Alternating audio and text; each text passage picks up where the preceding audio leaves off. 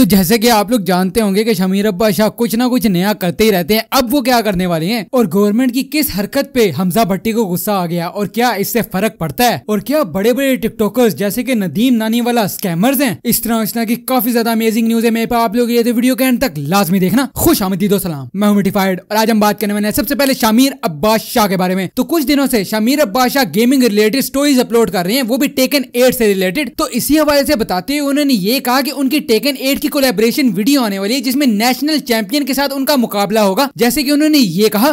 तो गाइस हमारी gaming video आने लगी है टेकन एट की।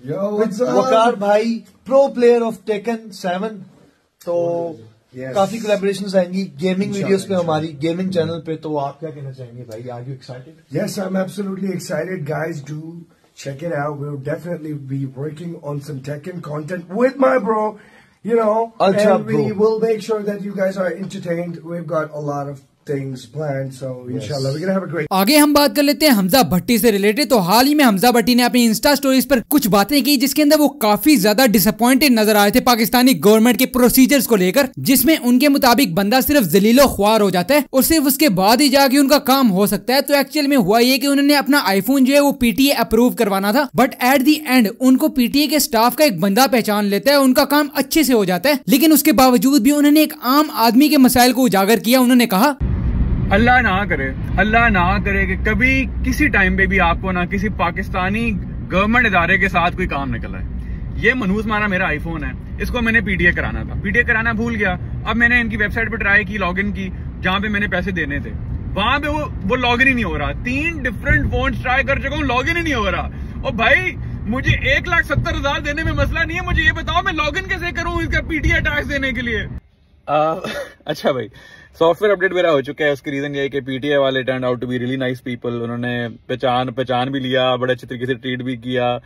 आम, लेकिन यार बात मेरी भी वैलिड रहेगी उसकी रीजन ये है कि ये बात सबको पता है कि गवर्नमेंट ऑर्गेनाइजेशन में जो है ना एक अजीब किस्म की, की चीज़ होती है। मतलब आप आप जो जो जो लोग चीज़ से गुजर चुके हैं उनको पता है। You know if you know तो the government needs to sort these things out because अब मतलब वही वाली बात है, मैं कहता हूँ यार कि हाँ आवाज़ उठाने की क्या सेंस बनती है? पता है वो चेंज नहीं होगा राइट मैं मैं कभी बार यार सोचता ये हूँ कि ये तो चलो, मैं भी इस्लामाबाद में फेर हूँ। अगर इस तरह का कोई काम आपका खुदा ना खासा किसी पाकिस्तान में, किसी कस्बे में आप रहते हो, किसी गाँव में रहते हो, किसी देहात में रहते हो, जहाँ पे कोई एक्सेस नहीं है तो आप ये काम कैसे करवाते होगे? ओके तो नेक्स्ट हम बात कर लेते हैं नदीम नानी वाला के बारे में, अंस अली और तलहा रिव्यूज़ के बारे में। तो कुछ टाइम पहले हुआ ये कि तलहा रिव्यूज़ के खिलाफ नदीम नानी वाले ने एफआईआर दर्ज कर दी थी। ये कहकर के तलहा रिव्यूज़ ने उन्हें कॉल करके थ्रेट किया है, जिस पर तलहा रिव्यूज़ ने एक वीडियो अपलोड की जिसमें उन्होंने ये बताया कि नदीम नानी वाला सिर्फ़ एक तरफ़ से सोशल मीडिया पे अपनी कंपेन रन कर रहा है और बैक एंड पे उसने मेरे खिलाफ एफआईआर दर्ज करवाई हुई है। एंड इसके अलावा तलहा रिव्यूज़ ने अनस अली और नदीम नानी वाले के फेक गिवेज और कंपेन्स के बारे में भी बताया की वो ये सब अपने शॉपिफाई कोर्स बेचने के लिए कर रहे हैं जिसमें एक फ़ीसद भी सच्चाई नहीं है। जैसे कि उन्होंने बताया। नदीम नानी वाले ने मेरे ऊपर झूठी एफआईआर करवाई है। उसकी रीजन पता क्या जो उसने पुलिस स्टेशन में बताई है की मैंने इस बंदे को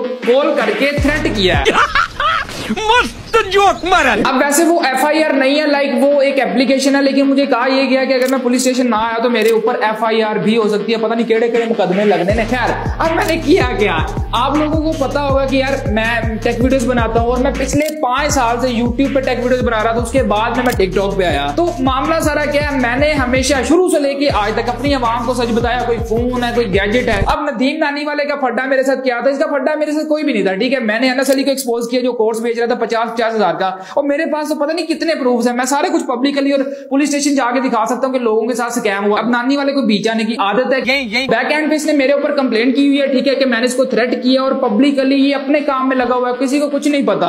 बट यार मैंने आपको बता दिया कि ये सारा मामला ओके तो आगे हम बात कर लेते हैं आसिम अजीर और तलहा अंजुम के बारे में। तो आप सब जानते होंगे कि इलेक्शंस करीब है और बहुत से सोशल मीडिया सेलिब्रिटीज अपनी दिल की बातें खोल खोल कर बयान कर रहे हैं। जैसे कि इमरान खान को सपोर्ट करते हुए आसिम अजहर कहते हैं it's people versus the system now. They can ban everything, but not what our heart says. Please find out your constituency and vote. पता तो चल गया होगा किसको करना है अब तक पाकिस्तानियों, we need to show them the power of people against the corrupted system. And इसके अलावा तला अंजुम भी खान साहब के बहुत बड़े फ़ैन है और स्पेशली नून लीग के खिलाफ हैं और खुल्लम खुल्ला डिफेम करने में लगे हुए हैं जैसे कि एक ट्वीट करते हुए वो ये कहते हैं वोट इमरान खान दे, बाकी सारे हराम दे पाकिस्तान जिंदाबाद और दूसरी तरफ़ एक ट्वीट में रिप्लाई करते हुए ये ट्वीट था, बाकी सब छोड़ो ये खूबसूरत बहुत है। इतना खूबसूरत होने के लिए क्या खाना पड़ता है? एंड रिप्लाई करते हुए तला अंजुम कहते हैं पाकिस्तान। तो आप इस सारे के बारे में क्या कहते हैं? मुझे कमेंट सेक्शन में लाजमी बताइएगा। आगे हम बात कर लेते हैं एम एन शहजादी और मोहम्मद मुश्तबा के बारे में। तो हाल ही में एम एन शहजादी और मोहम्मद मुश्तबा निकाह के बंधन में बन चुके हैं और इसी पर इंस्टा पे अपलोड करते हुए मोहम्मद मुश्तबा कहते हैं अलहमदुल्ला निकाह FIDE. So many many congratulation to both of them okay तो स्पोर्ट्स न्यूज़ में हम सबसे पहले बात कर लेते हैं इफ्तार अहमद के बारे में। सो एज यू नो की सिंध प्रीमियर लीग चल रही है तो हाल ही में होने वाले मैच कराची वर्सेज लाड़काना के दौरान इफ्तार अहमद और असद शफीक के दरमियान मुँह मारी हो जाती है। So after that Iftikhar Ahmed ने एक अपोलॉजी ट्वीट भी किया और सॉरी भी की, जैसे कि उन्होंने ये लिखा I am extremely apologetic for my behaviour in the field today I shouldn't have reacted the way I did in the heat of the moment I apologize to Asad Shafiq भाई in person after the match and have always held great regard for him we have played a lot of cricket together तो आप लोग इस apology के बारे में क्या कहते हैं, जो कि एक सीनियर प्लेयर की तरफ़ से आ रही है, मुझे कमेंट सेक्शन में लाजमी बताइएगा। एनिमी न्यूज़ में हम बात कर लेते हैं याता रसू के बारे में उसका न्यू ट्रेलर जो है वो आ चुका है, जो अप्रैल में प्रीमियर होगा। और lastly I am the only one who is not attacked in the world field with zombies उसको एनिमे अडाप्टेशन मिलने वाली है। अब मुझे नहीं पता ये कितने अजीब अजीब नाम होते हैं एनिमेस के। आप लोग इसके बारे में क्या कहते हैं, मुझे कमेंट सेक्शन में लाजमी बताइएगा। तो बस, अभी के लिए मैं भाई इतनी न्यूज़ थी। अगर आप लोग वीडियो पसंद आती है लाइक कर देना। मैं आप लोगों से मिलता हूँ अगली वीडियो में। अल्लाह हाफिज।